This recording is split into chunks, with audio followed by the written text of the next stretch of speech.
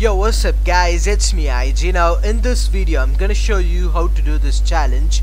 Now the challenge is you need to complete uncommon or rare quest now, I'm gonna show you guys how to do this challenge. Now before that there's the graveyard drift quest pack so yeah let's go. Okay now if you guys don't know the uncommon quests are the green colored quests like for example this one. Now as you can see this is the green colored quest. Now you need to do green color quest or rarer quest. So you can complete the green colored quest blue colored quest and then purple colored quest.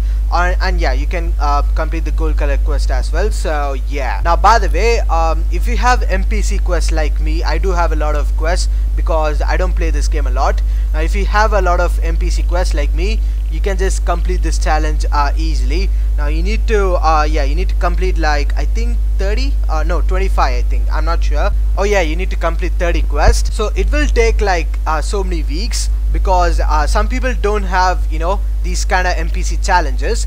But guys uh, just wait for like you know this week or like week after that there'll be a lot more NPC quests uh, coming soon to the game. So just wait for like this week or next week there'll be like two or four NPC quests. Uh, so yeah you can complete a lot because uh, from one NPC you can complete four uncommon or rare quests. So if that's like you know four four NPCs you can complete like 16 quests um, and, and that's still not enough but still that is um, good though.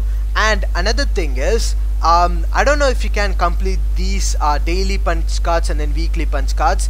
Now as you can see daily punch card is uh, green color and then weekly is uh, you know blue color. So I don't know if you can complete these. You can try these. You can try like one of these uh, you know daily or weekly punch cards and then see if it works. Now if it works then that's great because you'll get uh, daily punch cards every single day obviously.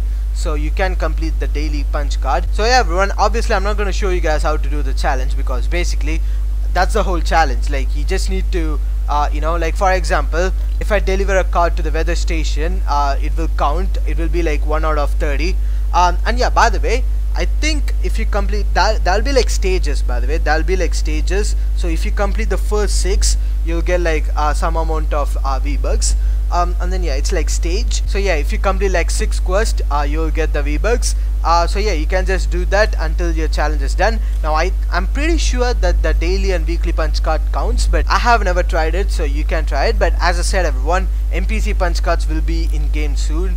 Like it will be in this week's update or next week's update. So yeah everyone that's it for the video. I will see you guys in my next video. Until then goodbye